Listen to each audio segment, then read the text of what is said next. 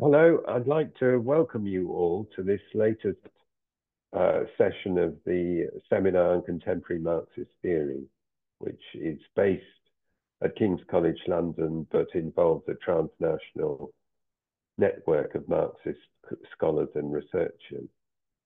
Uh, and today we're talking about the left, ecology, and degrowth. Now, this is a very hot topic, uh, partly for the obvious reason that what we're confronting is something almost unfathomable because it's so outside the bounds of human experience with the rise in, in temperatures that is going on and all the consequences that that generates. And the question is, how do we as a left, how we define ourselves, that left, address climate change and of course, relatedly address the blind process of capital accumulation that's driving it. Now, just this morning, I was reading an article in the Financial Times about the Chinese economy. And it started off by quoting President Xi Jinping's new slogan, develop new qualitative forces. And rather dismissively, the Financial Times says that this formula is rooted in 19th century Marxist thinking. But it does present one way of approaching the problem of, of climate change, which the Chinese state is in its own way trying to address, which is essentially to rely on the productive forces, on the further development of the right kind productive forces, let's put it like that, in order to achieve um, a, a, decarbonized e economy. But there's a very powerful alternative view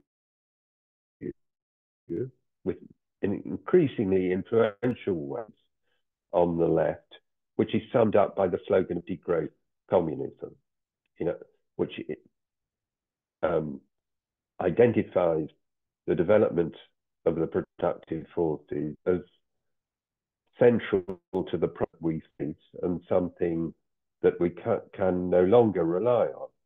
For example, Kohei Saito, who spoke at this seminar a few years ago, uh, published a book called Slow Down, which advocates degrowth communism, that sold half a million copies in Japan and has now been published in English but I, whatever stand, moreover, whatever stand we take on this, um, what kind of political strategy do we pursue to achieve break? Now we've got four great speakers to address this set of questions. And I'm simply going to, I could say a lot about all of them, but for the sake of time, I'm just going to say where they're based. First of all, Feyzi Ismail, who's based at Goldsmiths University of London, um, Kin Chi Lau of Lingnan University in Hong Kong, and we're particularly grateful to her because it's midnight in Hong Kong. So she's made a particular to, sorry, got the order wrong. There's also Kai Heron from Lancaster University, and finally Matt Huber from the other end of the time zones at Syracuse University in the United States. And the speakers are going to speak in the order that was advertised. That's Feyzi first, then Kai, then uh, Kin Chi, then uh, and finally finally Matt. And they'll each speak for 10 or 12 minutes, and I'll tell them when they've reached 10 minutes. Uh, after they've all spoken, after we've the presentations, we'll then have a question answer. The speakers will back to the to the to the questions. Then we'll have a further further rounds of questions, more replies by the speakers until we exhaust ourselves and the time available. So that's how the seminar seminar will run. Okay, so without holding things up any any further, let's get started. Firstly, with Feyzi. Feyzi. So, do you want to get us going? Thank you. Thanks, Alex. And um, thanks to Diego and Lucia and the organizers of the of the seminar. Um, I I want to start with uh, Palestine and the ongoing genocide in Gaza. First, because it can be no business as usual while these war crimes are taking place, while we witness the the horror unfolding on our screens day after day. Second, because the billions that are spent on arming Israel uh, makes Western governments both complicit in war crimes, but also irresponsible and unaccountable. Every pound spent on weapons is not spent on welfare, which is in decline in the middle of a cost of living crisis. But it also means less investment in climate policies. The Prime Minister in Britain has recently rolled back progress on, on climate policies in an attempt to attack the ostensible opposition over budgetary concerns, even though that ostensible opposition has actually followed suit. But we know that poll after poll um, shows that the public would prefer the government to do more rather than less on the climate front. Uh, but third, we've seen an absolutely huge global upsurge in mobilization against Israeli aggression and Western complicity, which is largely unprecedented. Millions of people have been out on the streets now for almost six months, protesting, occupying, shutting things down, and Palestine is everywhere. And I think, eh, you know, many in the climate movement long for this to be the case over the climate crisis. Um, but that hasn't happened yet. And we need to keep returning to the reasons why. So, in this context, building and intensifying mass mobilizations over the issues that people are already fighting over, in this case, Palestine, in every country and in every possible way, could start to influence the fight for the climate. One, because at a fundamental level, it is the same ruling classes who are committing war crimes against Palestinians as are committing violence against the planet. Um, but two, the central question is one of power, uh, imperialist power, um, and the way power is wielded. And any movement that asserts popular power effectively, by implication, raises, at least raises um, that, that question. So this is an argument for an overarching strategy that can win, one that has the climate as a central pillar, but is focused on changing the system that gave rise to the climate crisis. And I think there is common ground with uh, proponents of um, the most left wing version of degrowth that crisis is driven by, by the capitalist system of production, that uh, the prime motive uh, of that system is profit, under which everything else, including human need, is subsumed, and that working people need collective control of production in order to, to decide on a democratic basis what should be produced and how it should be produced. The core of the debate is a strategic sense of how to get there. And here I think degrowth is sorely lacking. Uh, but but prior to the strategy is is the analysis, and and for me at least three issues stand out. First is that the primary lens that much of degrowth analysis deploys is this geography of the global north and south, rather than class as the dominant framework. So Kohei Saito can argue that the working class in the global north not only have an imperial mode of living, uh, but that they exploit uh, others in the global south. And that the current capitalist order of society appears attractive and comfortable for a wide range of groups in the global north, while the real costs are imposed on the global south. So effectively, um, that the global north um, has to degrow while the suggestion is that uh, change will come from the global south. I think this is a misreading of the condition of the working class in the global north. It tends to dismiss uh, the poverty, inequality, food banks, uh, stagnating wages, and so on in, in the global north. And so it misunderstands the way neoliberalism has attacked the working classes over the past four decades, such that inc increasingly uh, they reflect the economic conditions of workers in the global south. This is the effect of uh, decades of stagnating wages. But it also lets the ruling classes off the hook. And it discounts or even dismisses the struggles that working people are engaged in, essentially rejecting the idea of a global working class that can find solidarity uh, in struggle um, against the capitalist class. So a global working class against a, a, a global capitalist class, if you will.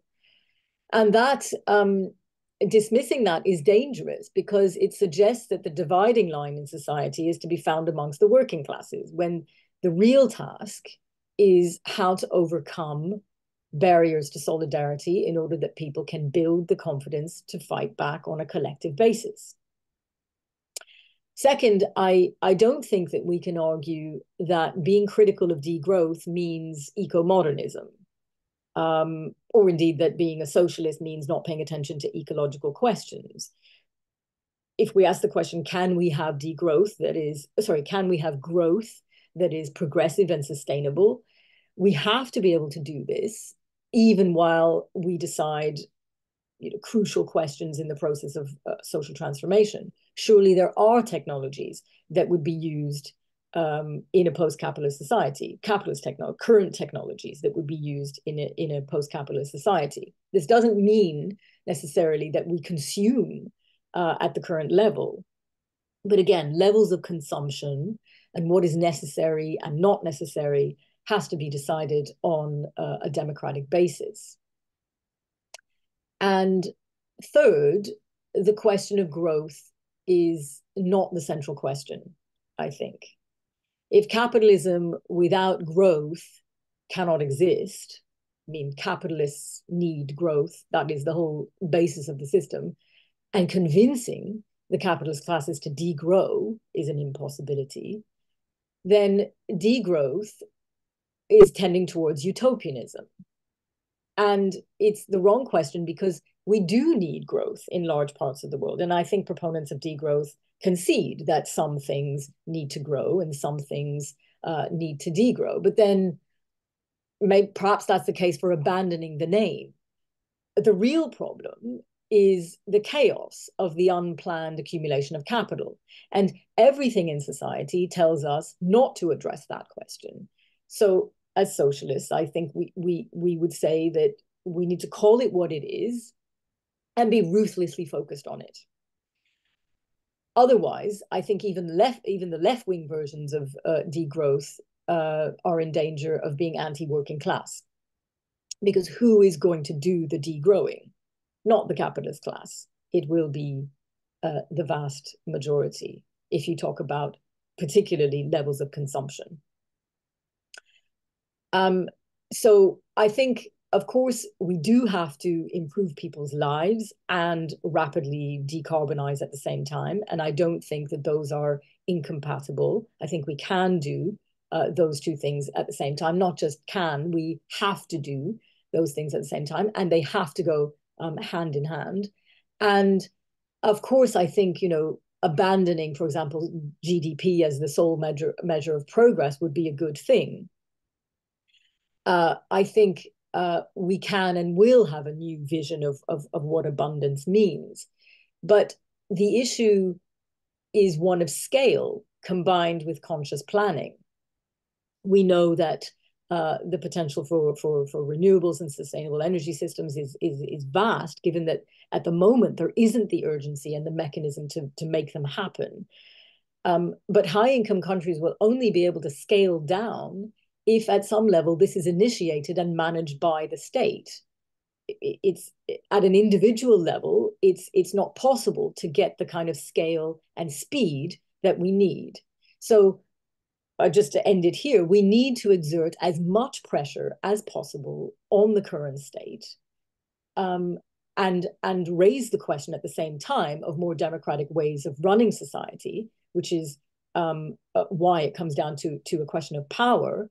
But through that, building on the existing struggles, it, I think, is the best place to start.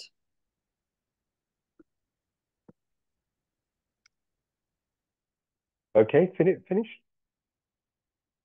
Yeah. Thanks, Feyzi. Okay, okay. Uh, the next speaker is Kai Heron. Great, thanks. Um, hope everyone can hear me okay. I'm really, I'm glad to be going after Feyzi because there's going to be a couple, a couple of disagreements that I, I hope will be generative and useful. So thank you everyone for coming. Thank you again for the organizers for the invitation to speak. Uh, it's a real, real pleasure to be here and also to see some familiar names and faces in the audience. So uh, I hope we have a good conversation. Uh, right, so my initial talk today was going to be called In Defense of Eco-Communism, and I was going to try and kind of chart a third way between eco-modernism and degrowth. Um, but when I started to think about the event a little bit more, I decided to change track. And what I want to do today instead is kind of that, but more to muddy the waters uh, in the ongoing debate between so-called eco-modernism and degrowth. And to put it plainly, I think this debate has reached something of an impasse, and that while the emerging synthesis of degrowth with Marxism holds some potential, it's increasingly evident that eco-modernism is a kind of simplified and ecologically illiterate interpretation of Marxism, class struggle, and the compounding socio-ecological crises that we face. I make that argument in full in a longer paper that I wrote while I was trying to get my thoughts together uh, for this talk. But in the time that I have now, I'm going to focus on just a few of these points and hope that we can pick up on the broader discussion in the Q&A. So let me begin. So for some years now, eco-socialist and left environmental debate has been locked into orbit around two sharply contrasting perspectives, degrowth and left eco-modernism. The former is a really quite diverse school of thought, often associated with Jason Hickel, Kohei Saito, Stefania Barca, Giorgos Kallis, and others. Left eco-modernism, meanwhile, and we have to stipulate left here because there is a reactionary eco-modernism too, it's just called capitalism and capitalists, is usually represented in these debates by Matt Huber, Leigh Phillips, Jacobin's editorial line on environmental issues, and proponents of these kind of growth-based Green New Deals such as Robert Pollin. So for the time being, I'm going to assume that most of us here are familiar with what these perspectives are, and suffice to say that they are fundamentally different, right? There are real, substantive, and irreconcilable differences between these two schools of thought. Their visions based on opposed analyses of the political subject that will secure an eco-socialist transition, how they will secure it, and upon what technological basis. But for all that, I increasingly find the debate quite unedifying and even frustrating. And part of the problem is that left eco-modernism has frequently misinterpreted degrowth as a homogenous political perspective and has subsequently missed some of degrowth's intricacies and some of its weaknesses. Degrowth's proponents are united by the idea that growth, growth or growthism or growth-based paradigms are a barrier to human and non-human flourishing. But beyond that, there's a huge disagreement about how to bring about a more sustainable social system and even what that system would look like. So proposals range from a kind of degrowth anarchism to eco-socialist degrowth to degrowth policy wonks. You know, we just need to introduce the right policies and we'll get it. And even kind of degrowth business models. There's plenty of those around at the moment too. So to treat these very different political horizons as one, I think is to miss something important about the breadth of degrowth's influence and appeal across the political spectrum but also its lack of an innate political vision. Simply put, degrowth is not a politics. It's an umbrella term for a series of socio-ecological propositions that have been fused onto a diversity of political perspectives, resulting in very different ideas about what degrowth means. So one of the most promising fusions, I think, is this combination that we're here to talk about of degrowth with eco-socialism, explored in the work of Michael Löwy, Kohei Saito, Gareth Dale, Stefania Barca, and John Bellamy Foster, among others. Whereas many non-Marxist proponents of degrowth limit their critique of capitalism to a critique of growth, which is a blunt weapon that conflates growth's numerous denotations, GDP, material throughput, energetic throughput, and so on, Marxist degrowth promises to draw on a far sharper critical set of instruments developed through historical materialism. So exploitation, surplus value, commodity fetishism, dependency, and social reproduction. And while many non-Marxist proponents of degrowth have overlooked the importance of class struggle as a site and the site of production to socio-ecological transformation, Marxist degrowth has emphasized the need for class struggle and transformations in what is produced, how, and by whom. The demand is for a qualitative transformation in how we live our lives, the contours of which would be broadly familiar to any communist. On top of this, work by Jason Hickel, Mariano Féliz, and others has drawn degrowth into proximity with anti-imperialist and third world Marxist thought, potentially opening movements in the core to repertoires of struggle, avenues of action, and acts of solidarity with struggles in that word, the global south, right? I'm, I'm going to draw on this geography. While disagreements inevitably persist among Marxist degrowthers on important issues, not least of which is political strategy, and while proponents tend to overstate the novelty of degrowth's contributions to international socialist thought, overlooking that much of what goes under the name of degrowth was previously articulated by ecologically minded Marxists and so-called third world Marxists like Sankara, Mariátegui, Amilcar Cabral, and so forth. The fusion of degrowth and Marxism, I think, is one of the most promising intellectual developments in the imperial cause green left. Yet according to eco-modernism, any engagement with degrowth marks a radical departure from Marxism and working class interests. So as Matt puts it in Climate Change as Class War, insofar as degrowth has gained popularity, it is only among, quote, the professional managerial class whose, quote, contempt for the working and consuming masses and whose psychological turmoil about their, quote, complicity in consumer society finds its clearest expression in degrowth. For left eco-modernists, then, what's needed is a return to the good old-fashioned politics of classical Marxism. I think that argument would be persuasive if left eco-modernism were offering an anti-imperialist and ecologically literate Marxist politics. But unfortunately, I don't think that's the case. In their recent review of Kohei Saito's Marx in the Anthropocene and Slow Down, which I'll be referring to for the rest of this talk, Huber and Phillips present their clearest summation of left eco-modernist politics so far. And in the process, they demonstrate a series of misconceptions that in the longer, longer article I try to clarify. I clarify them not from the position of a proponent of degrowth Marxism, but from the position of an anti-imperialist eco-Marxist, my sense is that this perspective, a Marxism that isn't eco-modernist, a Marxism that doesn't channel itself through degrowth, but rather through the internationalist Marxist tradition, is underrepresented in these debates so far. And it's something I sort of tried to introduce in that short piece for Sidecar um, a couple of, maybe last year now. So in the full paper, I cover four areas of disagreement, value transfers, the Feta thesis, socio-ecological limits, and definitions of class struggle. But we only have 10 to 13 minutes each. So I'm going to focus on the first of these, which is value transfers and what their denial implies for eco-modernist thought. And I'm, I'm, glad I did that and made that choice because I think it follows nicely from Feyzi's remarks and generates some useful discussions. So the denial of the existence or importance of value transfers and uneven ecological exchange from the periphery to the core is one of left eco-modernism's defining features. In their recent review, Huber and Phillips cite Charles Post's 2011 article, A Critique of the Theory of the Labor Aristocracy, to claim that the idea of value transfers has been, quote, long discredited. Yet Post's article is by no means a decisive critique of value transfers or uneven ecological exchange, and its conclusions are at the very least questionable.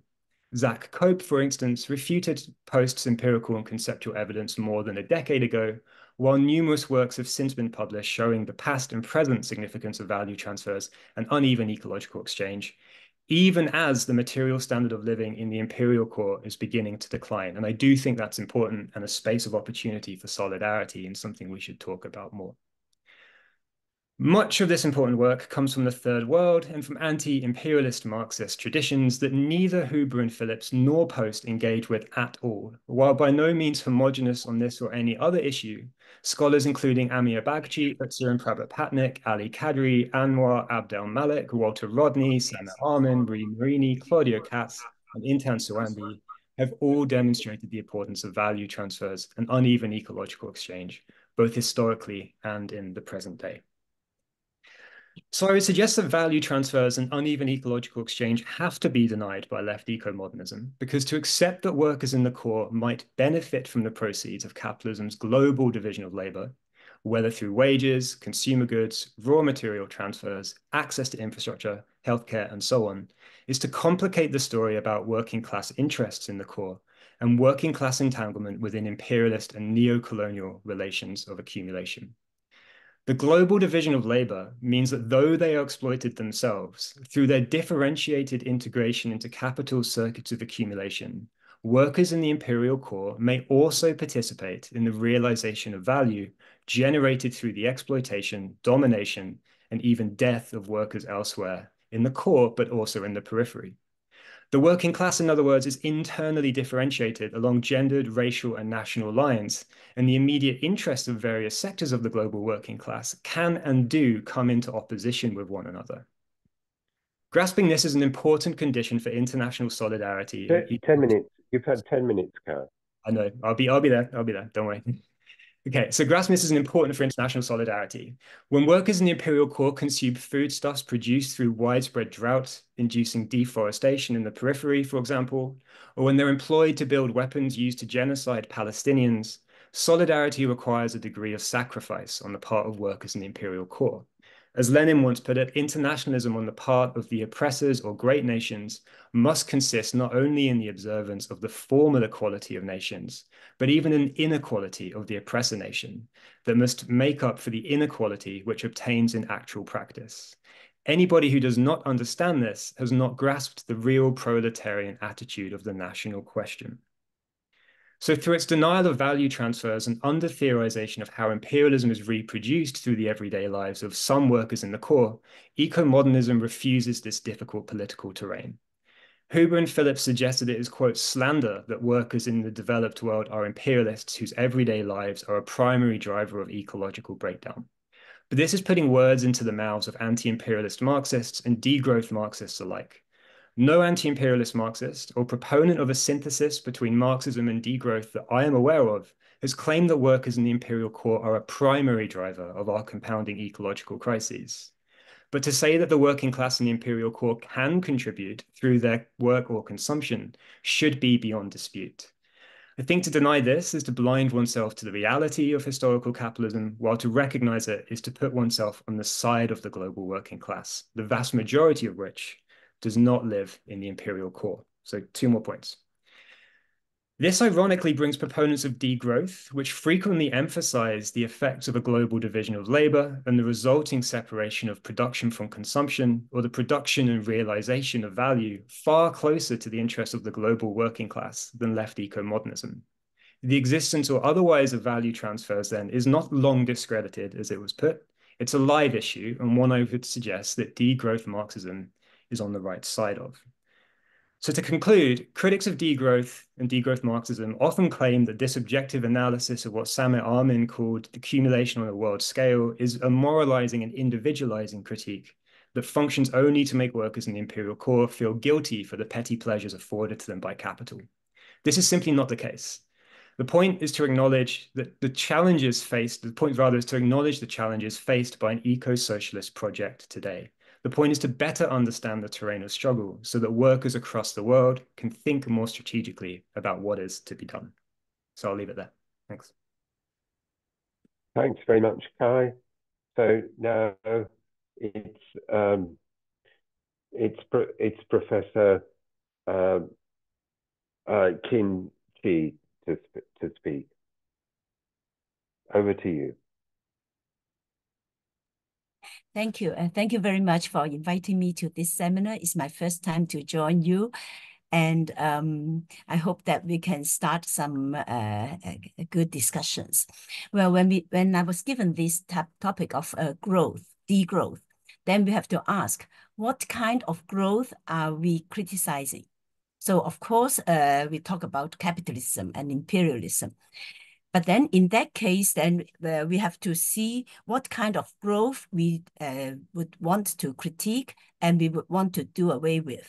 So I think uh, I, I will just, uh, in this first round, um, give uh, some kind of um, data, and I hope that uh, you maybe, it, it wouldn't be too common sense kind of things that, uh, to, to discuss.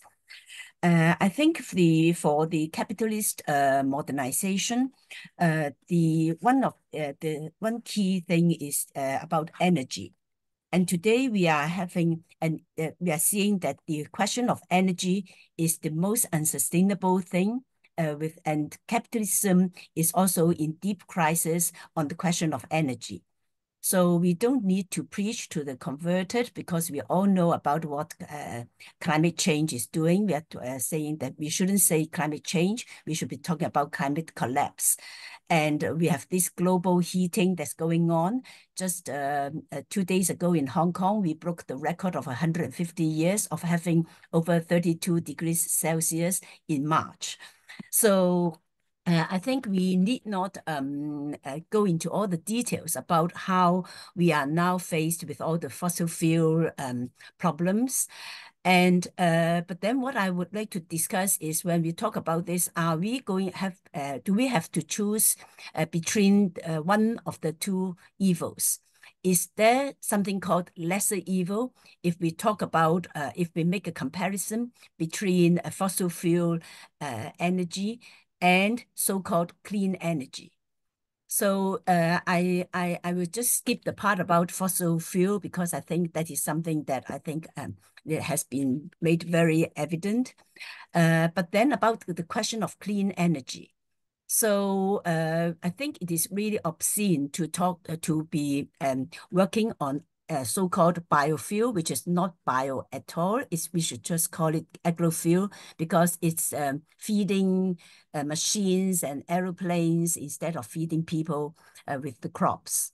But then uh, the other um, energy that has been so much discussed is about so-called clean energy. That is about the nuclear energy. So recently, um, we, we published, uh, I and some friends, we published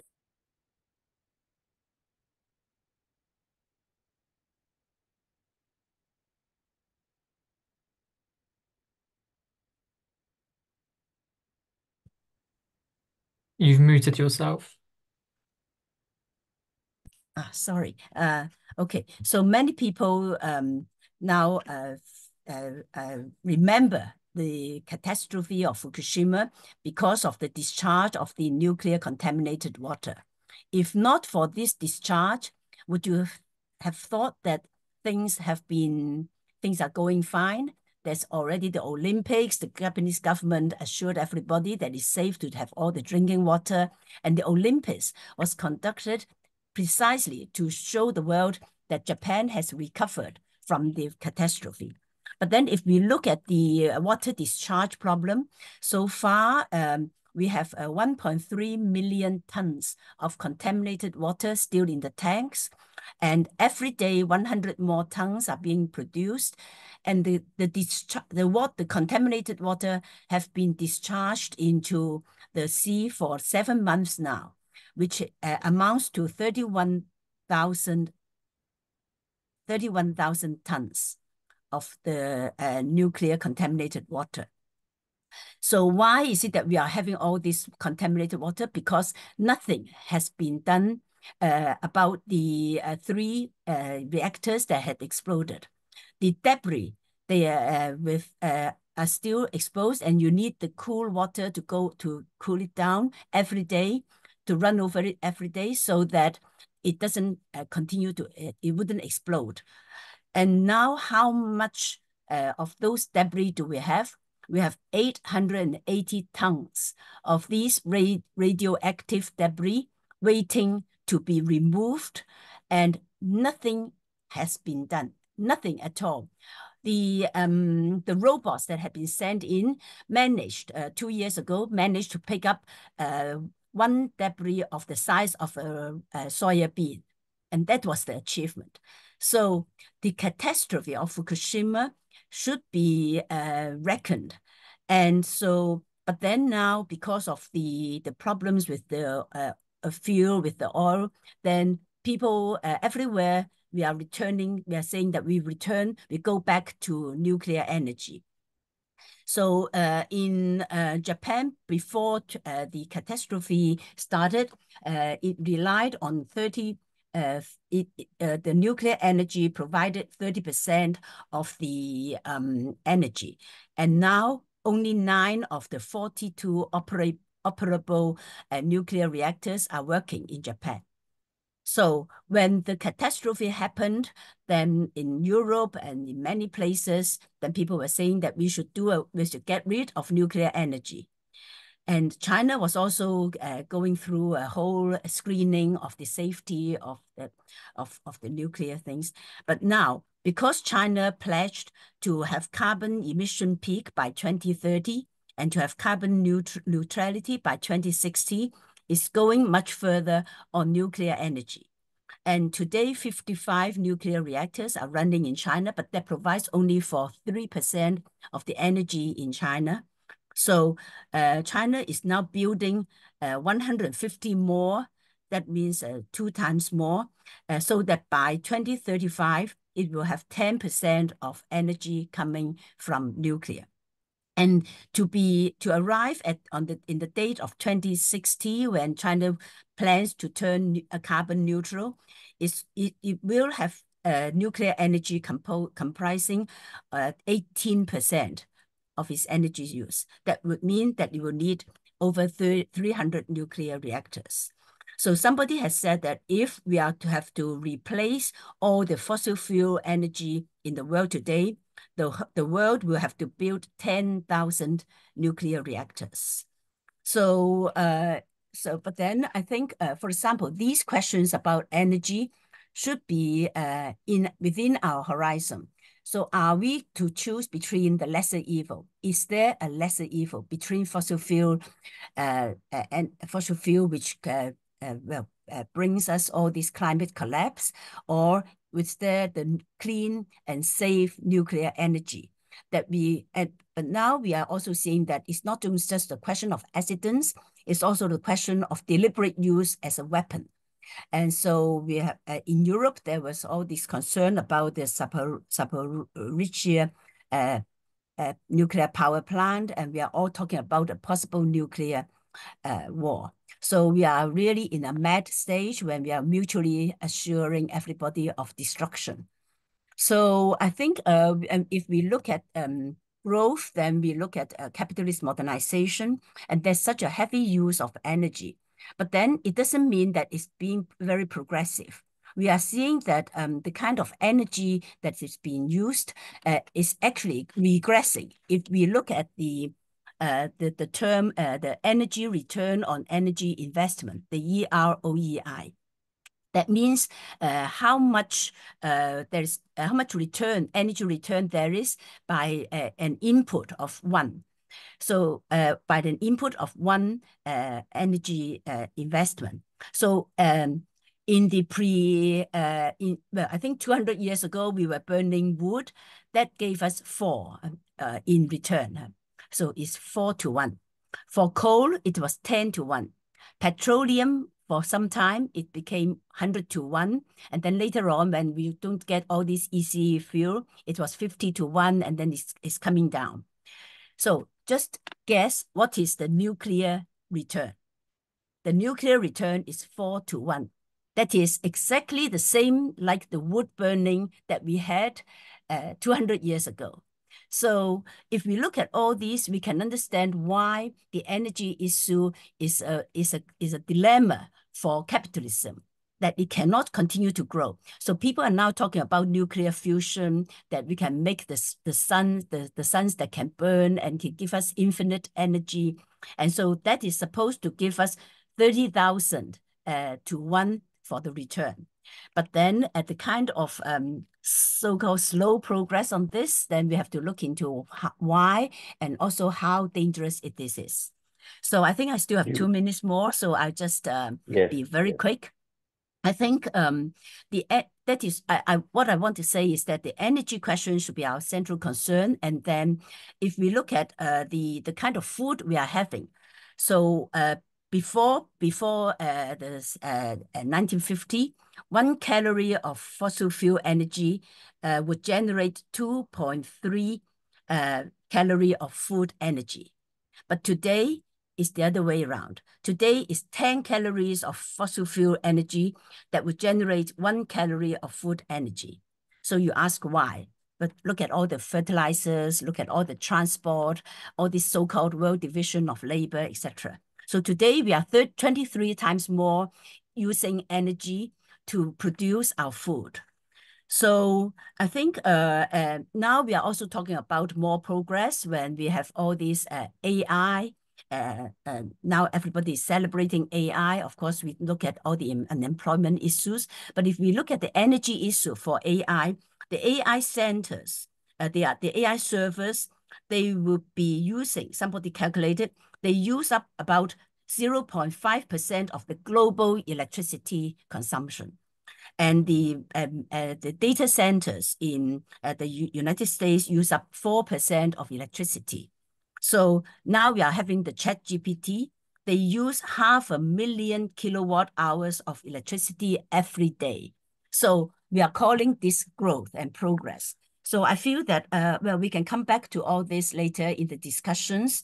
Uh, what I want to say is that if we look at um, uh, the if we talk about degrowth, we should be we should specify what we are looking at and how we can be changing this pattern, this paradigm of production and consumption, this this mode of uh, uh, uh, energy energy usage. But thank you. Thank you very much. Okay, so now we have the last of the speakers in this first first round. Uh, the last from the speakers in the first round, Matt, Matt Huber. Over to you.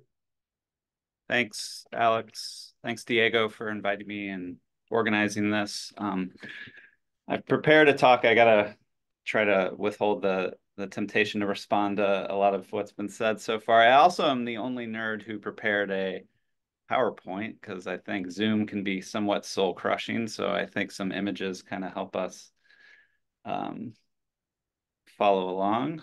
I didn't really ask it to do that. That's wild. Okay, so um, first of all, I want to kind of want to echo everything Feyzi said, but I especially want to echo um, her statement about the genocide happening in Palestine. I'm the only speaker coming from the heart of empire in this horrific government with their intransigent insistence to continue funding Israel's war crimes. And um, I think Feyzi's exactly right. We need to sort of think about how to channel these um, mobilizations in a larger anti-capitalist struggle. So now to my talk, the Marxists, I think, need to acknowledge a complicated relationship with growth. On the one hand, it could be said that the Marxist project itself came out of a historically unprecedented period of economic growth following the Industrial Revolution.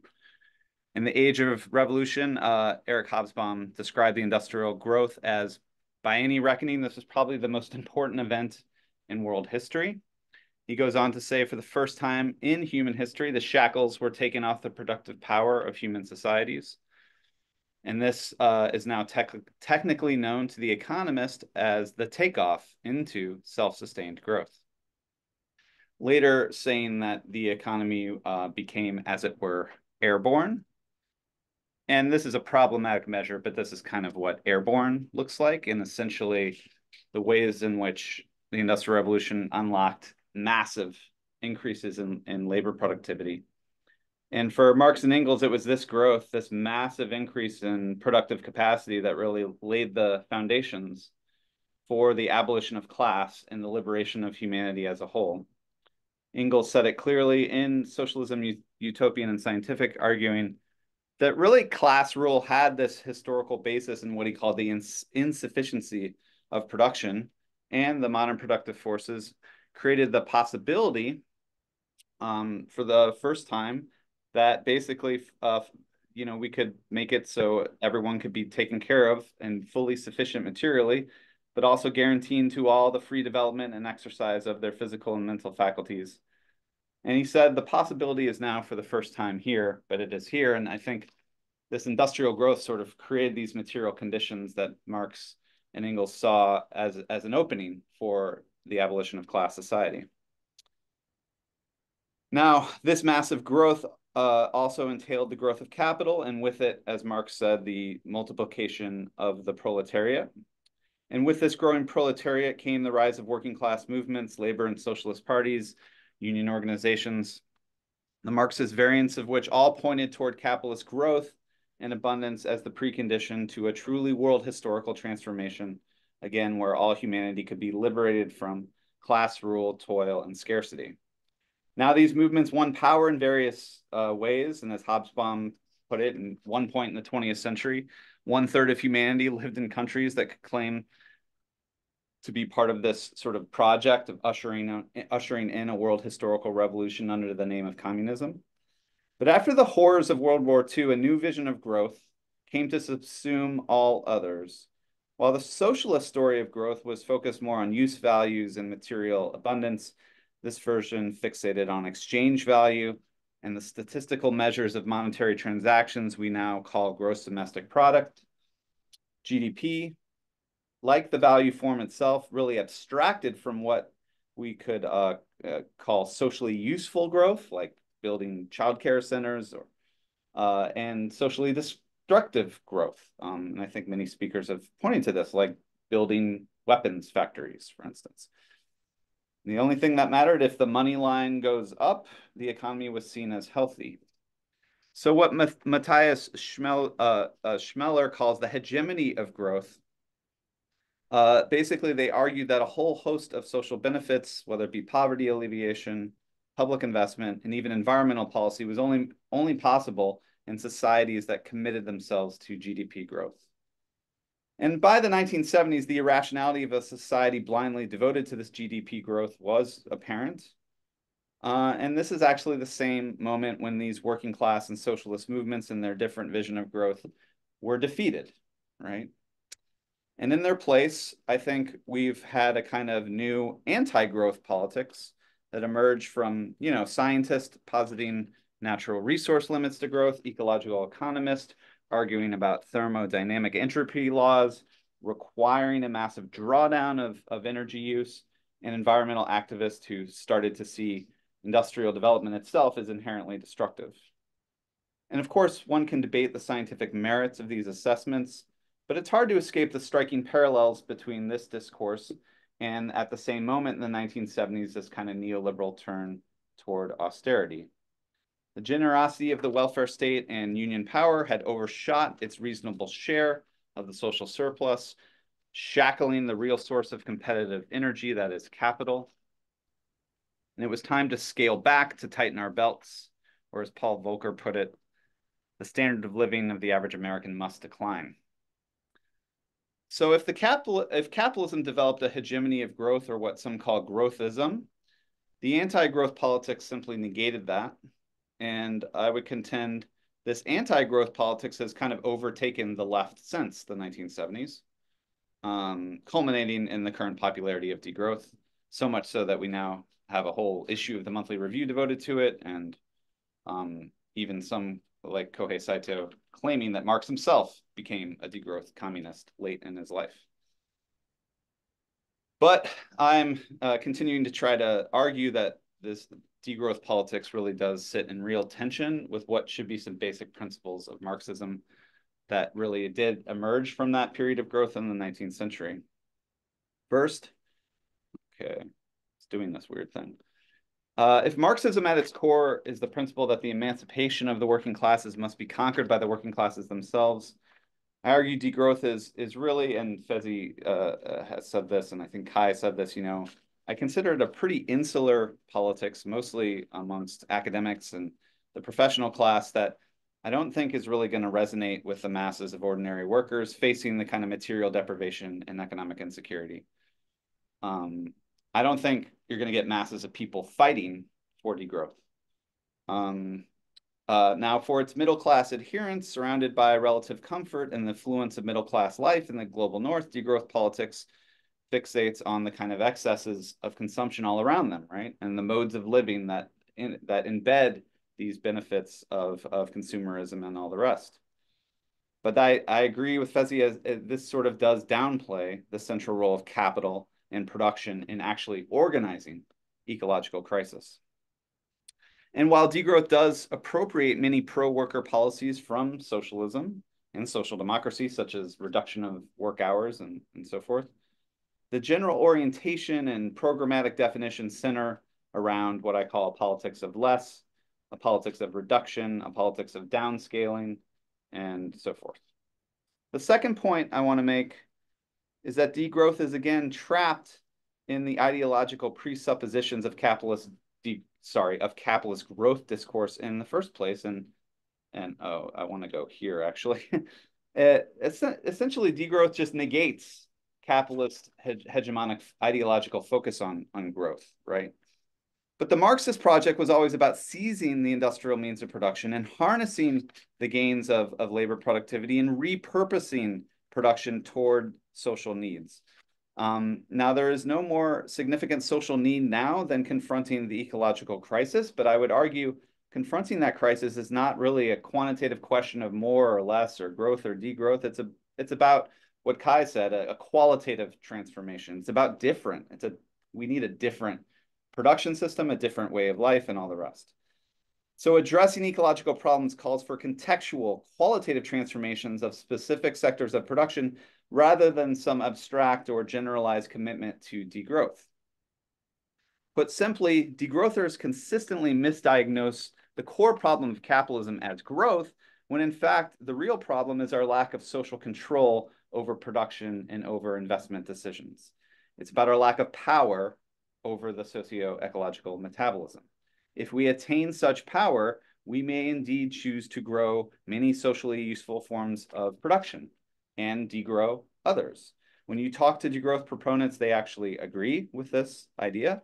They do want to grow lots of socially useful sectors of the economy, like education, childcare, housing, public transit. You've had 10 minutes, Matt. Okay, I'm almost done. Uh, uh, uh, the project is about gr some growth and some degrowth. But at this stage, the name, if we're if we're going to grow and degrow, the name and overall orientation of degrowth loses its coherence and we have to say it's actually not about degrowth.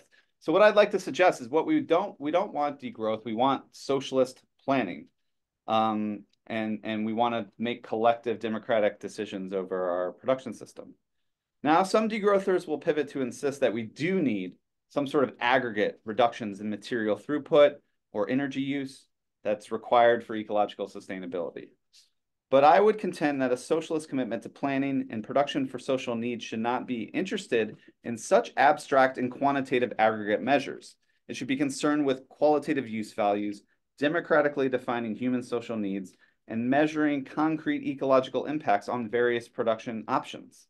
Indeed, the degrowth critique of GDP was always about the kind of violence of such abstract aggregate measures and their inability to grasp the con concrete specificities of natural ecological systems.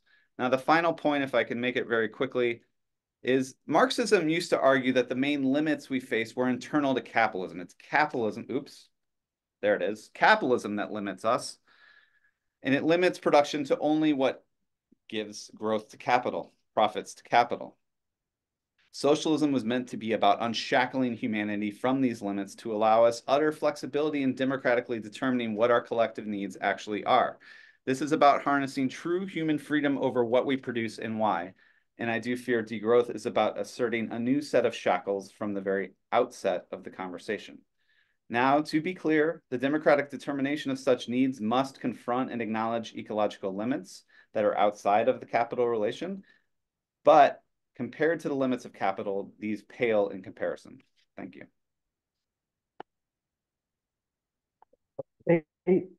Thanks very much, Matt, and thanks to all the four speakers for uh, such interesting presentations, all within their time, which gives us plenty of time for discussion. So can people can people raise their hands, preferably raising your hands using the, the function, um, the, the, the function provided by Zoom, but if not, um, we can, uh, you can, you can just say, you can send a message. Okay, right. I see we have three people who've raised their hands. Um, Let's start with Harvey. Harvey first, followed by Megan. Hello, thank you very much. It's been interesting to listen to you all. I'd first of all like to um, corroborate, I don't know if that's the right word, but essentially uh, the focus on Palestine has been good. I'd also say and this is I won't take I don't think it's necessarily the place to argue it now, but in the future, if you're going to talk about being within, you know, um, put Palestine at the core of it, to not write with ardent Zionists or produce work with them in the future. Um, the second point is I think something's been greatly missed from this um, debate is necessarily defining what growth is because it seems like everyone has had a slightly different idea. I don't know if I can generally, I don't know if I can shoot this to, I don't know, the, the four speakers, but necessarily like, what do you see is the difference between um,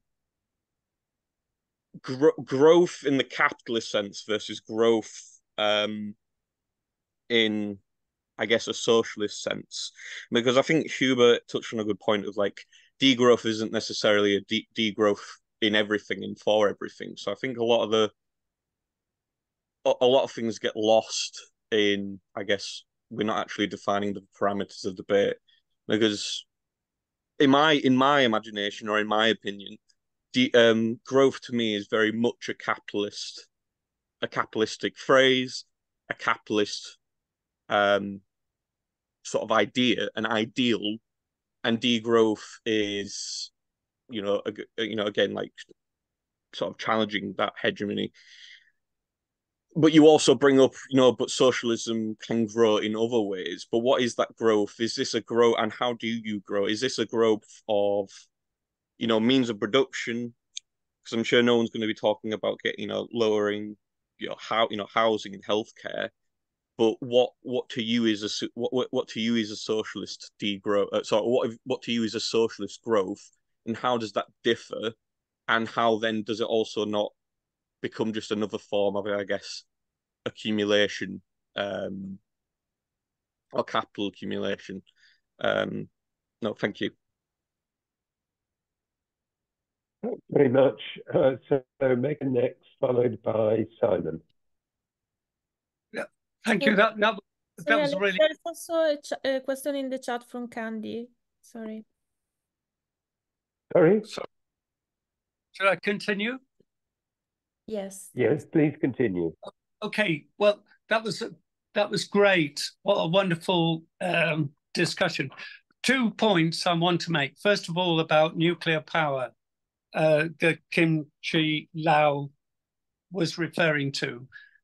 Uh, nuclear power and nuclear generation of electricity would not exist without nuclear weapons it, it was developed to produce the fuel for Trident and the and the nuclear um, uh, weapons program, and even Japan sends some of its uh, material to the UK for processing into material that's used in the Trident program.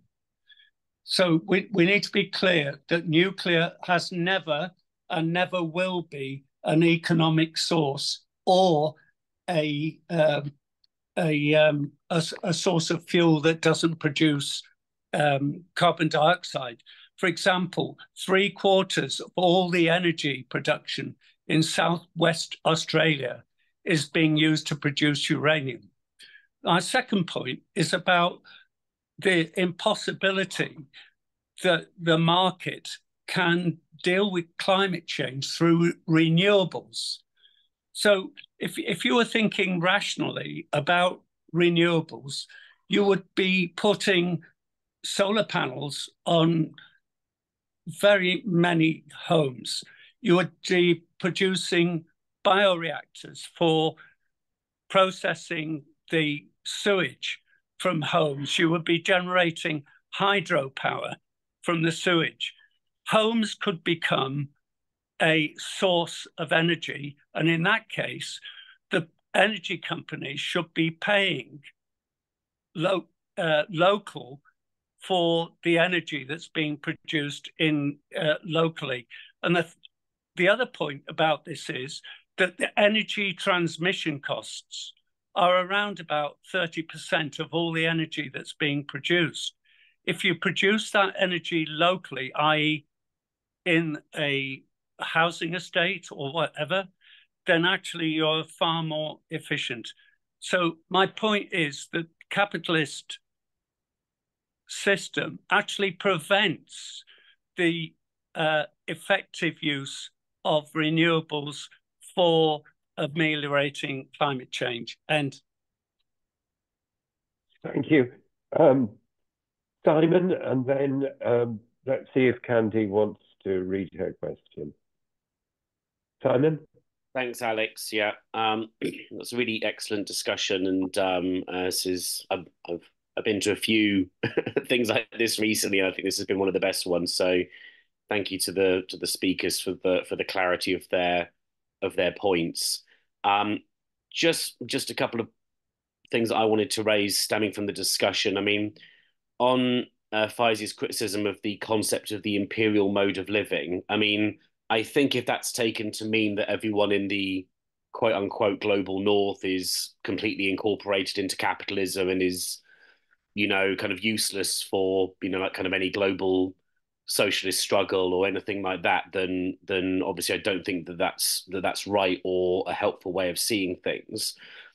But we do have to think about how the arguments around the environment do impact in different countries in different ways. I mean, in Britain, in countries like Britain, you know, there is a huge issue that, which is something that the far right is connecting with, that they see any moves towards kind of eco socialism or, or, you know, degrowth or like anything like that as an attack on people's living standards. I mean, the whole thing around the 15 minute cities and, and um, the, uh, uh, you know, the, the communists are coming to take away your cars and stop you from traveling abroad on holiday. You know, like it's all kind of pitched as um, an attack on living standards, an attack on sort of the quote unquote freedoms that we enjoy. So, thinking about how scarcity or the fear of scarcity works its way out um, uh, in terms of people's like responses, I think is very important. Of course, in countries like you know, the Democratic Republic of Congo, where only 13% of people have got access to electricity, it's a completely different discussion around um, around the mode of living and the changes that need to be made. So um, I do think that some of the degrowth arguments, which do point to the to the very radical and serious difference between workers in the you know quote unquote global south and the kind of imperialist nations is is something that we have to think about, and we have to think about what that means. Um, just the other point I want to say very quickly is, um, I mean, I I wouldn't call myself a degrowther, although I do think a lot of the points that degrowth writers like Kai and you know Jason Hickel and so on make are very important and um, often very useful things to think about. Um, I do think there is still possibility of more convergence, though, between Matt, say Matt's and maybe Feyzi's position and um, uh, Kai's position as it was articulated here. Um, what about the idea of radical abundance? Don't like I know people are talking about this, but it wasn't mentioned. Um, not not trying to be cowardly and sidestepping the degrowth debate, but if we think about things positively about abundance, about you know, kind of radically um, a fight for greater access to universal services. Um, radical abundance doesn't mean just more consumer junk that we buy all the time, but it means a qualitatively improved way of life free from market economics and the kind of grind of capital accumulation. Um, I think there's a lot of overlap there between even how Matt sees it and how some of the de- like the degrowthers see it. So yeah, I'd be interested to know more about um, from the panelists about what they think about that.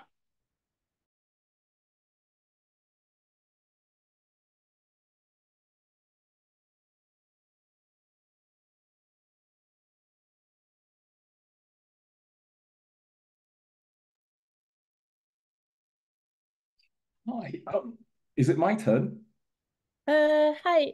I think I don't know if uh, Alex just lost um, connection. I think we were waiting for Candy. Candy, do you want to read your uh, your question or um, shall we? Yeah.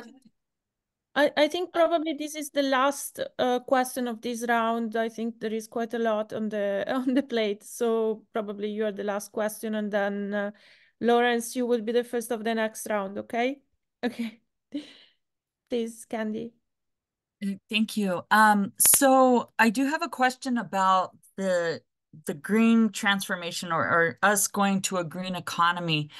um, in my own work, I'm studying around the copper and the mega mining pits, especially in Chile and other parts of Latin America. And um, I'm just wondering, where does this argument fit in with the degrowth models that you guys are talking about in terms of, you know, we have the increased, the, the three things that are really driving it is our solar panels, electric cars, and windmills. And all three of those use excessive amounts of copper. And then uh, I'll also, like, I have a talk that I'm doing tomorrow, but I'll also be talking about how that push for copper is also at the same time part, you know, the excuse is the post COVID economic recovery, right? Um, so we do get permission to do this because we want to go green. Let's extract more from the global south. We want to go green. Um, oh, it's because companies didn't, they need to recover from the economic backslide that they had during COVID. So there are ample like capitalist excuses for doing these things. But where does stopping that, um, that particular transaction, right, and, and, and around extractive imperialism, where does stopping it come out of the degrowth uh, debates that I'm hearing you guys talk about? Thank you. Um, thank you, Candice. So shall we follow the same order uh, or do you prefer inverse order? Uh, Feyzi, do you want to go first? Sure, yes, whichever. Um, yeah, okay, so where do I start? Um, uh, the first um, speaker talked, the first uh, person who asked the question talked about um, to define what degrowth is and what what you know what what is the sort of difference between the the capitalist sense and the and the socialist sense. I mean, obviously we know what the we live under what the capitalist sense of uh, of growth is, and you know I think I think everyone here has a has a critique of it, and this is the heart of the the the question. I think you know the the the socialist growth would growth would I think mean using the technologies uh, that we have and developing more technologies to make the lives of everyone easier. So you you you know you would have I mean I'm saying obvious things here. You would have democratic control over um, uh, uh, the development of that technology, the ownership of that technology, uh, and so on. So so AI, you would you would democratically decide and obviously you would find ways. I mean it's such a massive you know global all-encompassing thing as as is climate change but you would find um, mechanisms for for ensuring that there is control over over technology. And crucially it has to it has to um, you know be instrumental right? We we use it um, uh, on on an equal basis. Um, on the on the and and I guess yeah, in a nutshell, I think that's what that's what uh, that's what a, a, a, socialist conception of of of growth would um, would mean. I'm sure there's a lot more to say on that. Um, the the question of um, nuclear power, I, am sure you know there's there's lots of debate about that um, um, here. Um, so I won't I won't necessarily go go go on about this, but I do think in a way there's a sort of parallel here with with geoengineering. I in a world of of nuclear weapons and nuclear war, I don't trust any capitalist government uh, with developing um, nuclear power in a way that, or developing the the the, you know the the the fuel in a way that can be used safely. Um, so i mean just like i don't trust you know the american government or indeed any british government or any government to um to to yeah to um to undertake geoengineering because because they they want to keep things as they are. And and that's um you know that that's the whole point of it. Um so uh, and then the question about you know the the criticism of the imperial mode of living I mean, it's hard to, you know, I mean, yeah, uh, uh it, Saito for me is is well, it's quite clear. It's hard to see that he's he's, he's saying anything different than than that, uh, unless he you know he comes back on that. But I think, um, and I've just got the um, uh, slow down. I haven't I haven't cracked it open yet, but uh, you know I think he's he's um, he he's not uh, saying anything different um, on that question. I think in in his new work, so he's not coming back and saying, "Oh, well, actually, this is what I meant." So um, I think um, you know the the the the question of um, uh, it being an attack, you know, Simon's question, an attack on on, on people's living standards that that that, that this is what degrowth or eco eco socialism will be. I think in a way, firstly, Rishi Sunak has done that for us because he's he's he's telling working people we're not going to rip out your rip out your um you know your your your boilers to install heat pumps and we're not going to do anything basically. You know we you can have diesel you can have all of these things. Um but uh yeah i mean i think that it, partly it's one of um it's one of being initiated on a on a on a scale that can facilitate some sort of transition to happen. And of course this is why for me one we always have to come back to okay everyone everyone here can agree that capitalism you know is is the problem. So then the question is how do we start making a dent in that question? How do we start? And that is a strategic question. You know we won't get a government that is going to do the things that we want them to do unless there is the kind of pressure unless there is um, a start to rearranging global geopolitics. And and we have to do it that way. And again again in terms of you know disagreements and thing i don't think people disagree that that drc has to grow. I mean 13% having access to electricity of course. Um i mean you know and then just a final point on on um on radical abundance. I mean kate soper came out with a book i think a couple of years ago on uh, post growth living. And you know the ideas are very good. You know i don't think you know we want uh, more of a focus on use values of course than than exchange values. That's not that isn't the question. Um but so you know we can all think of great things you know community sharing tools and all of this sort of thing wonderful it's just that of course but but it, it, if kai is saying class struggle is um you know, part of the degrowth, uh, you know, agenda and part of its strategy and so on. I would like to see more of this. I mean, the vast majority of degrowth literature doesn't even come close to mentioning this. So I suppose, you know, maybe that is an area that that needs exploring. Um, but you know, the fight for universal, you know, services and and and growing education and health and all those things, yes. But how do we get the otherwise we how do we get there otherwise we we it's utopian and we need a bit of you know outside sky blue skies thinking and so on but not we need concrete strategies in the here and now otherwise we're going to keep losing thank you Feyzi. is it okay if uh, each speaker has five minutes uh, maximum to reply so we can have another round of uh, questions and answers so kai you're next yeah yeah sure um yeah, I'll keep it quick.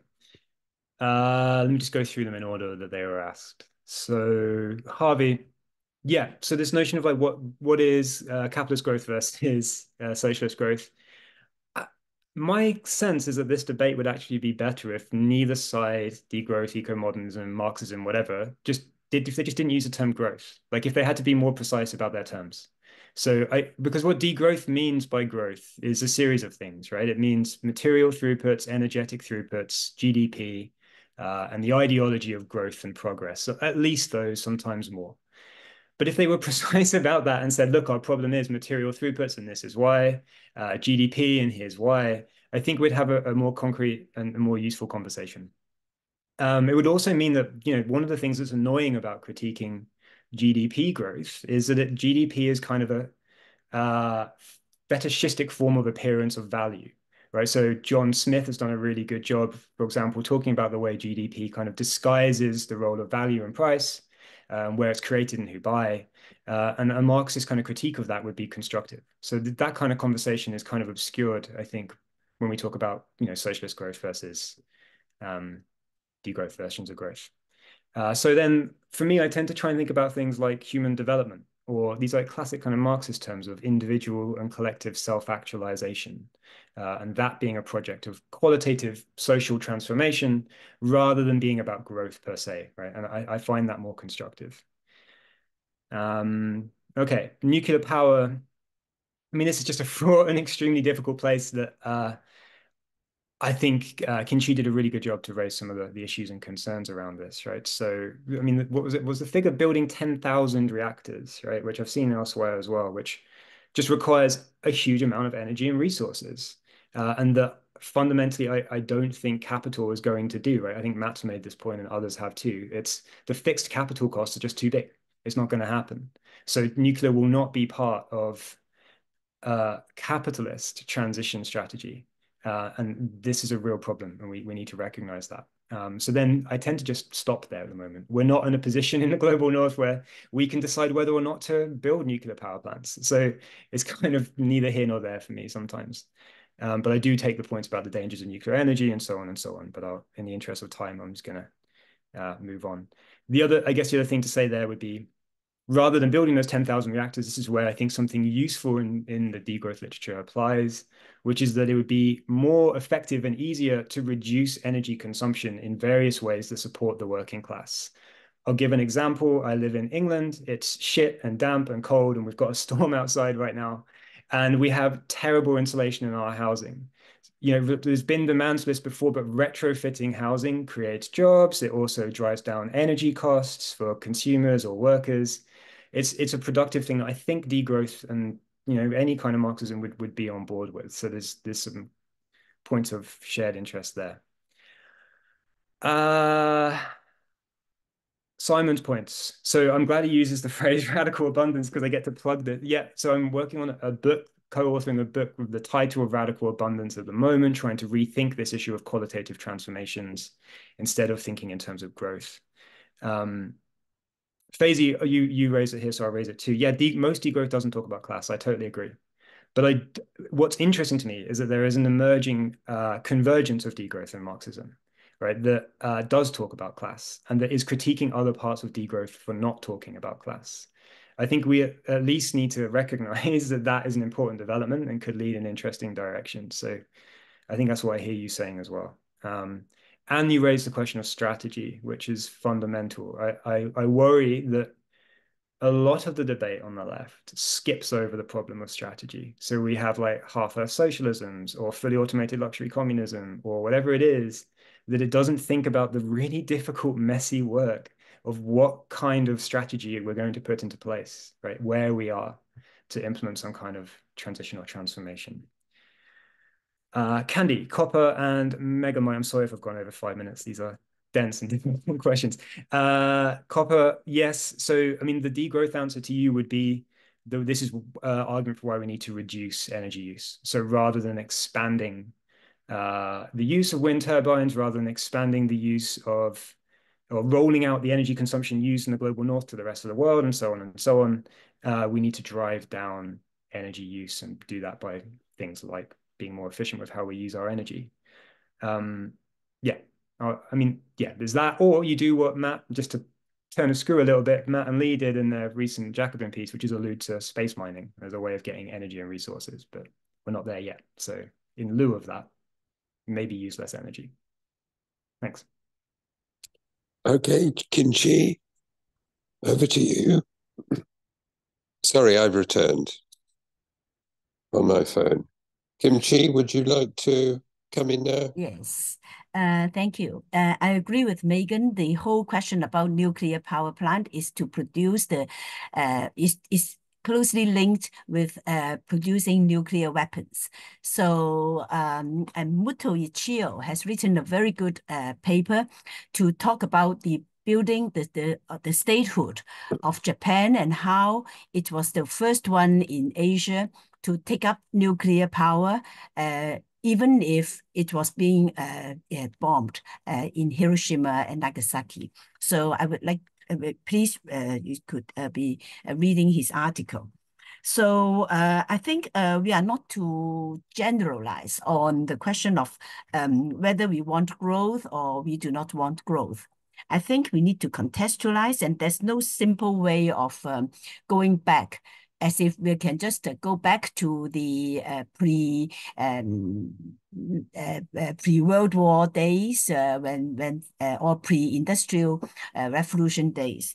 So modernization is already a fact in its different forms. So we will be talking about alternative modernization. So what would that mean? Uh, Kai mentioned Samir Amin. I would like to mention him as well. He's a good friend. He was a good friend, and um, we had discussed a lot, uh, also with John Bellamy Foster and uh, Francois Houtart. And I would like to actually bring up his uh, uh idea on delinking. So his uh, idea of delinking is not to go to to go isolate yourself, but then it is uh, to be um, delinked from the agenda being set in the World Division of Labor, especially set by the uh, the triad, the U.S., the U.S., uh, Europe, and Japan. So in the idea of delinking, then you do not subject yourself to the um, global division of labor, which will tell you, okay, you can develop this, but and you cannot develop that. And so, so uh, for example, uh, the U.S. has a very um, clear strategy of preventing food sovereignty in the country. So the kind of aid that U.S. gave, the, the USA gave to the uh, uh, the South Southern countries was to specifically inhibit the uh, agricultural development. So you can find many of these stories being told in Michael Hudson's book, uh, Super Imperialism. He did a very good um, analysis of the U.S. Uh, strategies on agriculture. So we that's why we see all the ABCD uh, uh, firms in control of agriculture today. So I feel that um, when we talk about delinking, then we should be talking about uh, re-ruralization, for example. That uh, that and what would we mean by re-ruralization? So uh, we had uh, it, uh, then we need to be going local. There's also the ways in which we could have uh, we could have specific um, uh, addressing specifically specifically to the needs of the rural people in the particular region. So uh, the support of the community in finding their self-sufficiency, in finding what they need and in catering to their needs and with all the exchanges that would be possible. Uh, so I think that would be, uh, that could be certain strategies. So I think uh, saying degrowth, the word degrowth itself would create all these um, uh, images of uh, regress, images of uh, scarcity, or in, uh, of uh, well uh, uh, sacrificing your way of uh, life and of comfort, etc. Uh, but then I think um, uh, such words uh, then uh, that that that is that applies both mostly to uh, the north, but then for many people from the south, they would say that well, you now see the question of obesity. So you see the child growing obese, and you tell the child to go on diet. But now we don't, we are malnutritioned, and you tell us not to grow. So I think um, so I think we have to take into account that uh, there is this a very uneven development where there is a lot of scarcity in certain places. So we will have to say what kind of growth, what kind of alternative growth would, uh, which would not be um, taking the uh, well, taking your model from the the Western paradigms. So, what kind of growth would in fact be beneficial to the to the population. So I think there will be the focus on food sovereignty. And uh, I was in Bhutan uh, last month, and I was there, and it was very interesting to look at some of the the, the experiences there. They talk about gross national happiness rather than GDP. So why is it that we are not also taking up questions about happiness, uh, combining both material and spiritual well-being? So I'll just stop here. Thank you. Thanks. Thanks very much, Kin Chi. Matt? Yeah, I'll try to be brief. Um, in terms of what socialist growth would look look like, I think we need to take seriously that Marx's um, analysis of capitalism as a system that basically depends on mass miseration and poverty. And that is the case in the global north um, as much as certainly the global south. And there's a lot of immiseration and poverty all around the world. Nearly a billion people don't have access to electricity. Over a billion people face basic uh, scarcity of water, uh, clean, potable water. There's an effort, there's a need to build just basic water sanitation systems all over the global south. So that's growth. And, and it's not, again, about it can only happen in the global south. I mean, I live in a country that has a just insane, irrational transport system based off privatized automobiles. And we're going to have to grow a public transit system to have a rational, socialist, ecological society in our country, too. So it's going to require public housing, public, and, and that. So socialist growth is, is trying to address all these irrationalities of capitalism and building uh, uh, towards use value and social needs and trying to plan that in conjunction with ecological constraints. I think that's what it would look like. The nuclear power question um, is obviously controversial, but I think we either have to sort of sort of call the climate disaster a, a planetary emergency or not. And if it is, I think it is.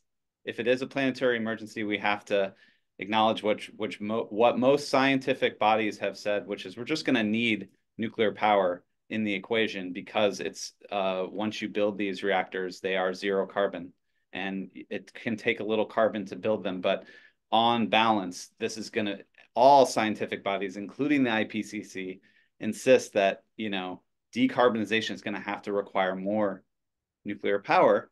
And you know, one of the most successful uh, rapid examples of decarbonization we have is actually France. They took their electric sector in about 15 years and made it now 75% zero carbon nuclear power.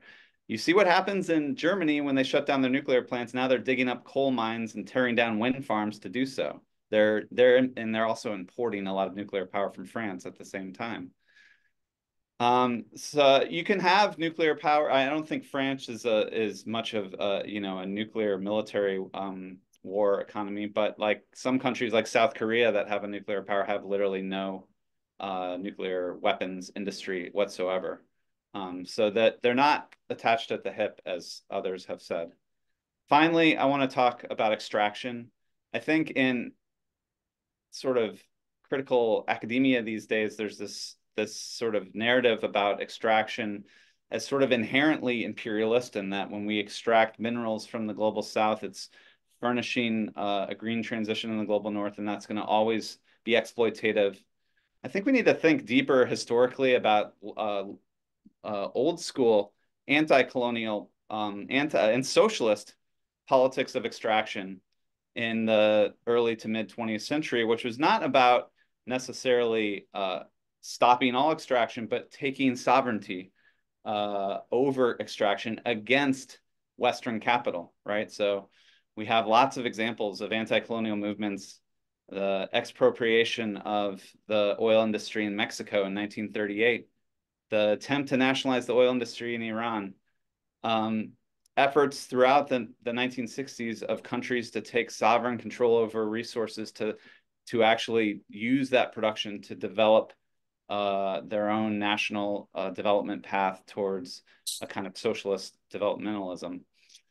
Uh, you know, I just think we've lost that history, and and and we're starting to see countries actually do this. You, in Chile, the left-wing government is trying to nationalize their lithium reserves. In Mexico, and a left-wing government is trying to nationalize their lithium reserve. So again, it's not about. Uh, it's really about trying to take control, trying to take power over extraction and and directing it toward uh, human and social and ecological needs, as opposed to this this sort of sense I get sometimes that extraction is always already inherently destructive and, and exploitative and imperial, which I don't think is the case. And there is the whole problem that, um, at least in the world economy today, if we're going to do what degrowthers say, which is degrow the global north so the global south can grow, we live in a world economy with what what Kai described as a global division of labor, where unfortunately um, the global south is exporting these resources to the global north. So if you degrow that part of the world, there's a sort of fundamental disruption in those economic flows. Um, in any event, I think we need to focus a lot more on sovereignty, popular control over extraction and resource control in the global south. I'll stop there. Okay, thanks very much. Um, we've got time for another round if everyone is very succinct. So we've got three questioners. Um, and so if you can all try and say make your point in about about three minutes. Uh, I'm going to say something brief, also three minutes, and then we'll go back to the speakers. I think let's let's go in reverse order these this time with the speakers to to vary things a bit. So, okay, the first hand I see up is that of Lawrence. Yes, I will be succinct.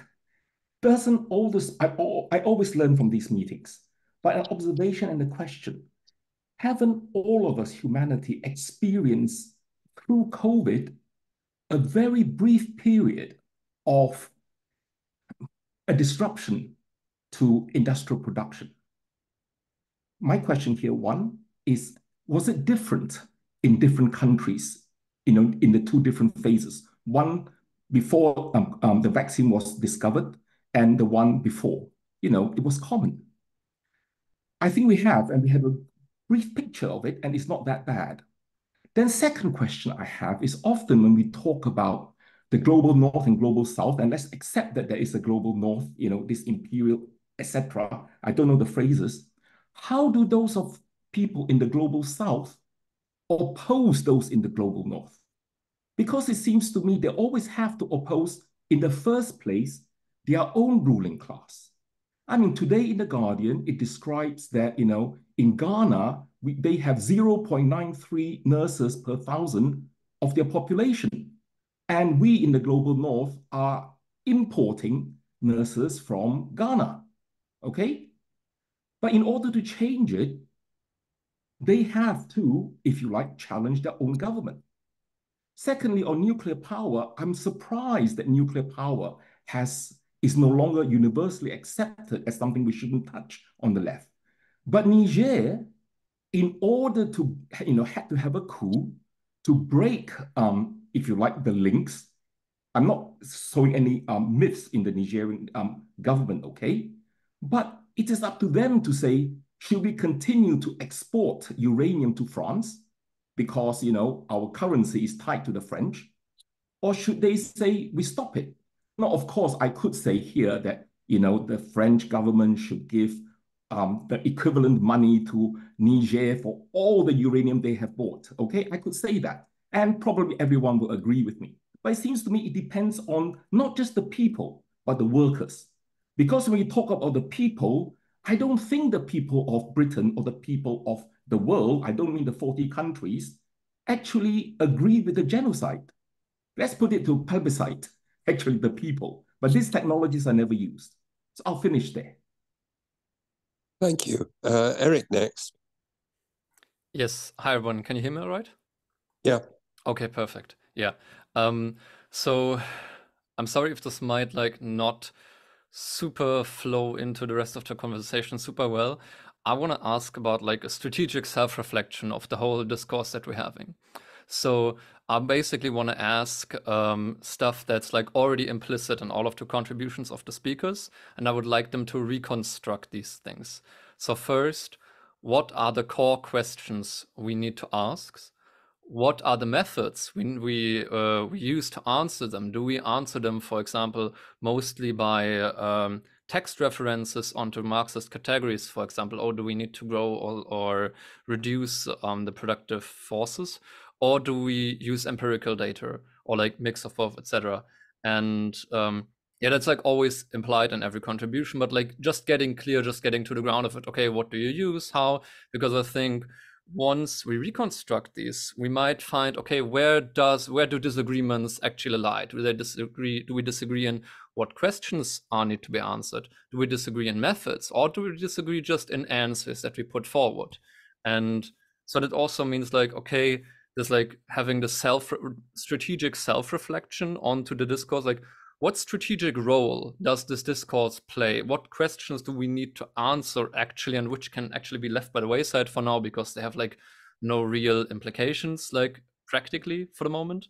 And also the last one, a little bit um, on the side is like, okay, we should also, I think, question the presupposition that there is like, we're always looking for like the right position or the right strategy, as if that's something that's like already given. Like, why don't we question that there is just one right combination of positions or strategies for us?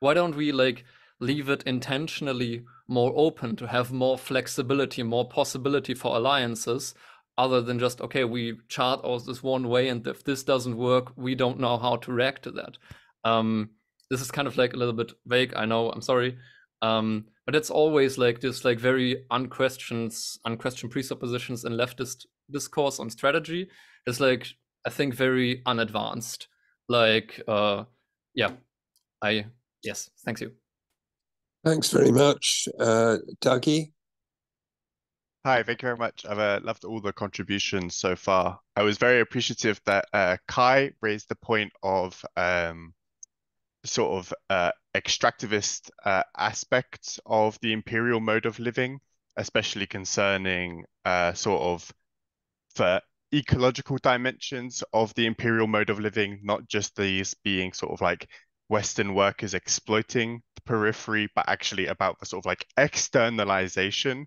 of ecological consequences of uh, these patterns of consumption. Um, my question is kind of linked to this that everyone on the panel here seems to be talking about uh, some sort of socialism orientated around democratic economic planning, which sort of uh, necessitates some sort of, you know, uh, autonomy over uh, the workplace, um, but also uh, collective and global deliberation over investment and resource flows. Um, and it kind of like leads me confused as to if we accept that there are these sort of like uh, externalization of ecological consequences from uh, the core outwards to the periphery, why this would be democratically decided to be continued in a socialist society, why would uh, workers in the uh, imperial periphery continue to accept for sort of like conditions and ecological degradation of extractivism to enable the same consumption patterns that's going on in the imperial core? To me, that seems like an aspect that just doesn't seem to be considered, why would this be voted upon in councils, for example? Um, surely that the uh, utilization of resources and investment, and maybe even the scaling back of the sort of like scope of extractivism would be something that would be kind of undertaken. I just don't think that that's really considered often in these sorts of debates around degrowth. Okay, thanks very much. Um, okay, I want to say something briefly.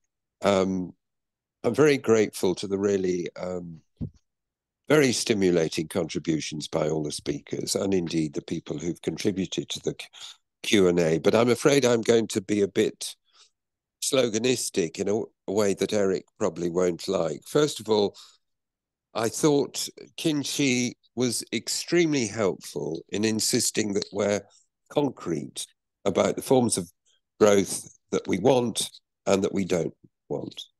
I think also she was absolutely right to blow the alarm whistle about uh, relying on nuclear energy as part of the green green transition. And I, maybe I misunderstood you, Matt, but France is a, a, quite a serious new, uh, military power. Um, including including a nuclear power. So its use of nuclear energy is very much um, linked up with the aspirations of French, French imperialism. There's a good book called uh, Le Militaire by a French Marxist economist that brings this out very well. But I want to come back on uh, some of the things that Kai said to to to begin with.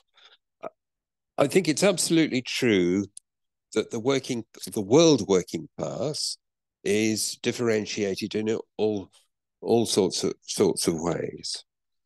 But I don't think it and and it's absolutely true that destructive forms of consumption prevail in the north and involve particularly uh, involve at least very large sectors of the the, the working class um, along with the along with the rest of the the, the population.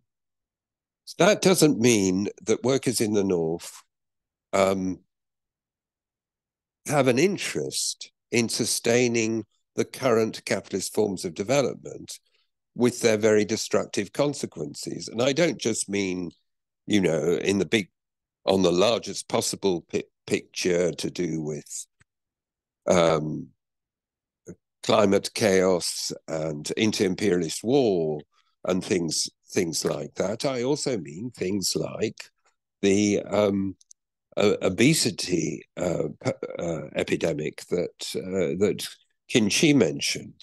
So, um, yes, materially, workers in the north are mostly better off than workers in the south. That doesn't mean they have interest an interest in keeping the system going. Also, the boundaries between workers in the north and workers in the south are very blur- blurred now because of migration, which doesn't create migration doesn't create an undifferentiated working class, but it can it it creates a working class that in all sorts of ways, if you like, extends southwards from the from the north. Uh, from a political point of view, to appeal to people to get rid of capitalism because they need to sacrifice I think is just hopeless. I think the value that we have to emphasize is that of solidarity. And this isn't just an empty, empty word. Feyzi rightly started off talking about Palestine and the genocide that's going on there. Britain is an old imperialist country, but Britain has seen an absolutely massive movement of solidarity with the with the Palestinians that has support from the mass mass of the population. So I think that's solidarity is a better way to go than appealing to sacrifice. Okay, that's all very sloganistic, but I'll stop there. And let's just um, ask these um, speakers to come back. As I said, I suggest we do it in reverse order. And please try to keep your remarks as close to three minutes as possible because we're getting very close to the end of the time that we have. So, starting with Matt. Yeah, thanks, Alex. Um, first to Eric, I think,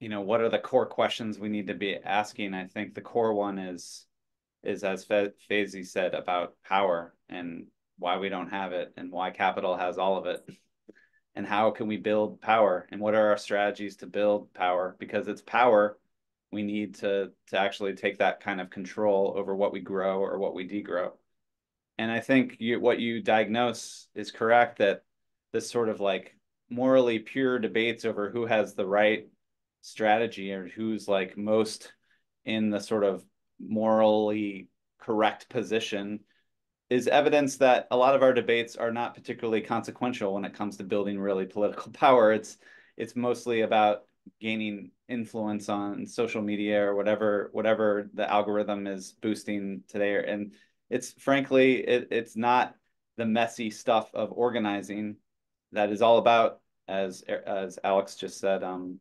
solidarity and building strategies and building mobilizations for power. And that is messy and it's not about these pure correct positions, but it is about strategy. And uh, we have to think about that. Um, I guess, uh, D Dougie, I mean, one of my main frustrations with this uh, imperial mode of living, I, I really think it dilutes the concept of imperialism. I mean, we should be clear that I think we should try to have a Marxist theory of imperialism which I really acknowledge uh, my book doesn't do much on, and that's Kai will be thrilled to hear that that's sort of my next uh, project. I think I really want to say something more about imperialism and Marxism. And for me, the Marxist theory of imperialism has to really be about who who in the world have power to organize the global order and use violence to to to fulfill that organization. And for me, it's not ordinary workers going to work or purchasing a hamburger, right?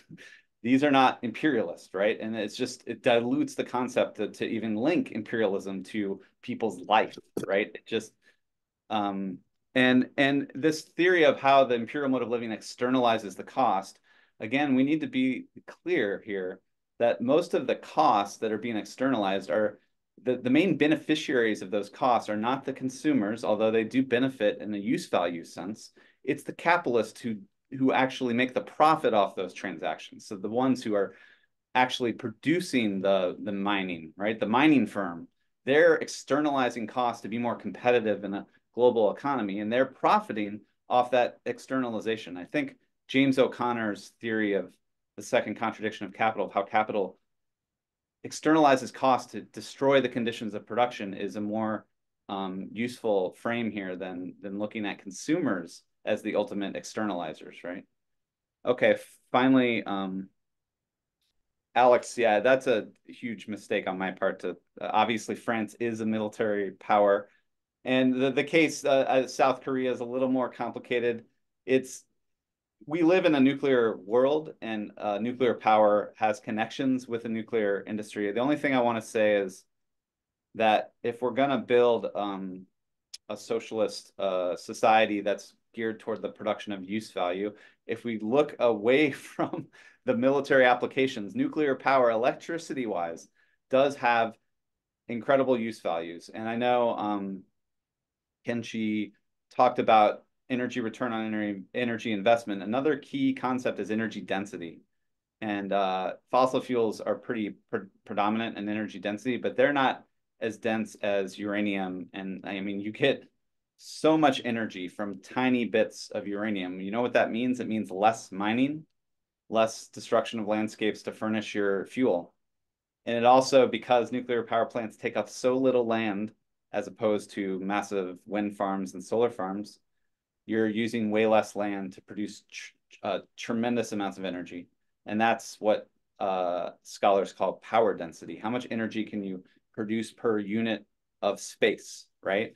And so those are really important concepts to consider. And nuclear has some advantages from a use value perspective, notwithstanding these very dire and, and dastardly connections to uh, military applications.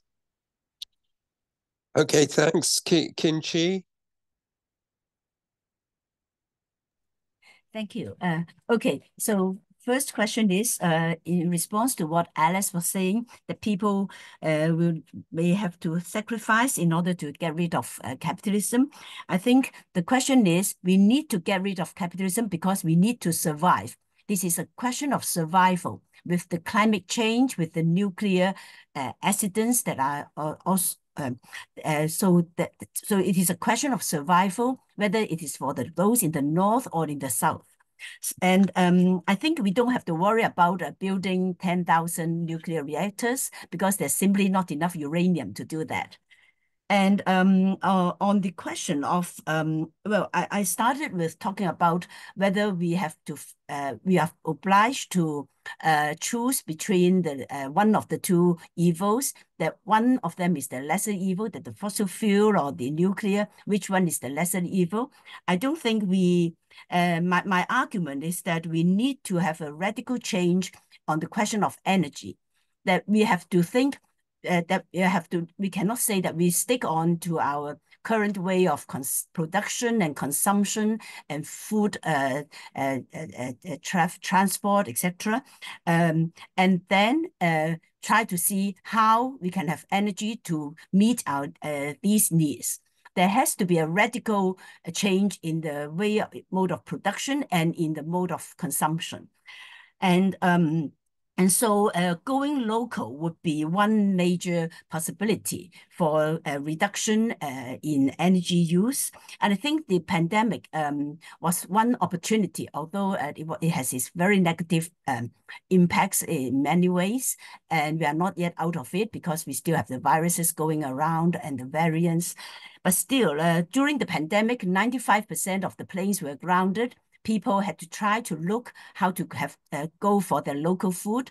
Uh, in the lockdown in Shanghai for uh, three months, people were growing food and growing veggies in their backyard, and like what they, they were doing in Cuba and in Venezuela uh, under the sanctions. So I think um, the way uh, it is for self survive, for subsistence, for self for survival, uh, we need to focus on the question of uh, food and food sovereignty uh, in, in the face of climate change and its um, most um, urgent.